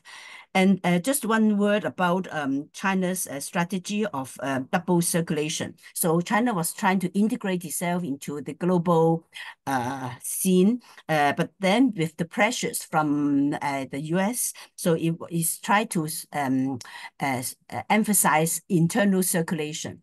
And so um, I think that is something that could be, that is not degrowth, but then it's not growing like other becoming imperialist powers or uh, growing like the other Western powers to extract more uh, from others and then to to manufacture all your goods uh, and then to selling them uh, so cheaply. So the the internal circulation would be if it had been carried out more forcefully would have been um, a strategy that Samir Amin would appreciate in the terms of delinking. But I think uh, when we talk about uh, degrowth, we have to also see the kind of stage we are in. It's not just about uh, material production or industrial production. It is about the financialization that we are in today. So how are we addressing the question about finance and the financialization? Uh, so the last word is uh, that I, I still feel that we need to, when we talk about the growth or whatever, uh, we need to go to the communities and see how the communities can be in more control of their commons, of the um, of the means of production. And so, and I also feel that we need to really emphasize ruralization or uh, what what what our uh, Indian friends call um, rurbanization is combining rural and urban into one word because cities are parasitic. They cannot um, sustain for themselves. And I won't talk more about uh, the nuclear issue because um, in the April issue of Monthly Review, we have an essay uh, talking about uh, the uh, reaction of the communities in Japan on the situation in Fukushima. Thank you very much. Thank you. So, uh, Kai next. Yeah, um, I'm aware of the time, so I'm going to be going to be as quick as possible with some very, very big questions at the end. Uh, uh, Lawrence, you mentioned COVID-19 as a kind of a brief period of disruption. I, I just want to maybe push back a little bit and say that I think what we saw there was actually capitalism at its worst, at its most fierce in many ways, right? So we know that the richest got richer as a result of COVID, that there were massive bailouts of large large corporations. Uh, Robert Brenner's written about this in NLR, right, to show the massive redistribution of wealth. And then the way that PPE and vaccinations were rolled out across the world was extremely uneven and perpetuated. You know, all kind, I think we all agree with that here. I just want to emphasize that it wasn't exactly, you know, a suspension. In fact, we saw some parts of capital get, you know, considerably worse. Um, Eric, Eric, your questions are massive. They're really good. Um, one of the things that you raise, I want to just touch on, I think, is this idea of what are the methods. Uh, and you you say like, you know, is it theory or is it empirics? Uh, surely it has to be a combination of both theory and empirics, theory and practice. This is the classic Marxist point, and that it cannot be an appeal to authority, which I worry is something that happens very often. So, Saito, for example, this idea of finding a kind of degrowth version of Marx and late Marx, I think it would be better if he just said, here's my proposal for degrowth Marxism. Like uh, instead of claiming to have found it in Marx, you know, by reading selectively through a certain kind of Marx, just come up with a theory yourself and present it and make the case based on the world we live in. I think that has to be the method that that is a Marxist method, right? I think I think that's the way forward. Uh, da, da, da, I've got a few notes here. Why not more open?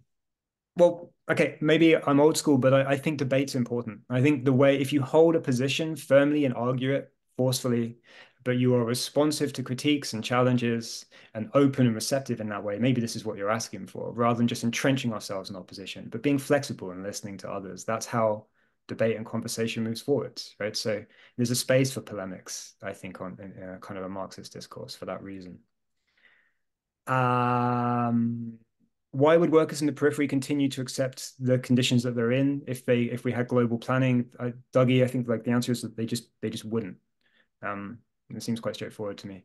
Then the imperial mode of living is not a term that I use. It's not one that I find especially useful either.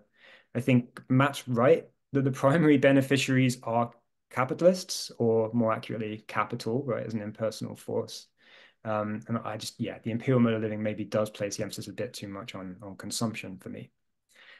Alex, okay, so I use sacrifice in jest, right, in a kind of like scare quotey way, but I do think you're being a little bit too simplistic about working class interests in the global north. And I'll, I'll give some examples. So the AFL-CIO famously supporting the Vietnam War, or until recently supporting, you know, being pro-Israel, right? As opposed to arms manufacture and sale. Just down the road from me, there's Samlesbury, which is where they're producing part of the fuel fuselage for the F-35 that is bombing Palestine. When people go and protest outside of there, workers go and protest outside of there, other workers get angry and annoyed. They have an interest in the, unless you're going to say that they somehow don't know their own interests, they have an interest in that job. And so I think it's not as simplistic as saying, you know that they don't it's more conflicted more variegated is what i'm saying. Or when i i did work previously on oil and gas extraction in pennsylvania where workers had a material interest in oil and gas expansion in pennsylvania because they needed jobs. I think that's right. I think our task is to compose a different kind of consciousness uh, that recognizes that their needs can be met better outside of capital than they can within capital. And I think we'd probably agree on that, right? That a better form of living, a better way of living is possible. But that doesn't mean that they aren't in complicated ways entangled uh, in capital circuits of accumulation. And I think we have to face up to that and work to unravel that through our struggles, right? So yeah, I'd, I'd probably end it there. Thanks very much, Feyzi. Yes. Um, the last word. Thank you. Um, yes, um, it's true on the on the COVID question. Uh, there was, you know, huge transfer of wealth, corruption, uh, and so on. But I think the, the period of COVID also showed that people were willing to change their lifestyles in a in a big way. Um, the governments that governments were were were of course capable of taking charge of things in in this emergency period. You know lockdowns were imposed yes but they but there was a sense of organization to it. There was an incentive because of the because of the um the the, the virus. It, in a way it was also a kind of tiny glimpse of what was possible as well in in a in a a, um, a radical shifting of things in a very short space of time. I mean, this government was paying people to stay home from work. I mean, you know, it's just a it, it, it was a sort of glimpse of a, of a of a of a different um, kind. And of course, we we need to there there will be incentives. There are incentives. Um, objectively around around a better life. I mean you know you retrofit your home and you have lower bills you know that's an incentive but we need again it always comes back to this question. The real contention is how do we force in the immediate a government to do that? Um, and of course in the long term um, taking power in order to do that. I mean that of course taking power is an abstract question at this point but but you know how do we how do we force that um, that situation I mean, I like the question of, um, you know, the, the, the strategic self-reflection on on the discussion. I mean, what are the core questions to ask? I think I think we've been asking them in a way. What is the strategy for winning popular power?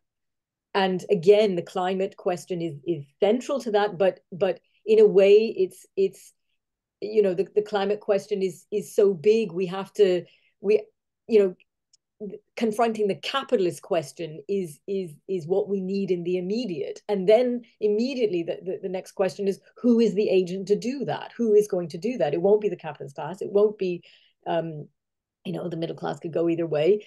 Um but you know it doesn't mean i think that you know trying to convince the capitalist class of this or that is is is a total waste of time. But but but yes we have to put that kind of pressure um on but we also at the same time have to um, take things into our own hands and i think a lot of the left has has forgotten this idea almost uh, embrace this this this gorzian idea of farewell to the working class what happened to that i thought that was a marxist uh, um, you know the, the, the kernel of marxism as in the agent is is the working class. I, I know that people have criticized it for being, um, you know, uh, hyper workerist and uh, and so on. I still think um, it is they they are the vast majority of people in society. What methods? Yes, of course, it has to be a a, a combination of empirical and and uh, so on. But also, I think the all of these questions are much more political than technical. I think the technical can be worked out if the political question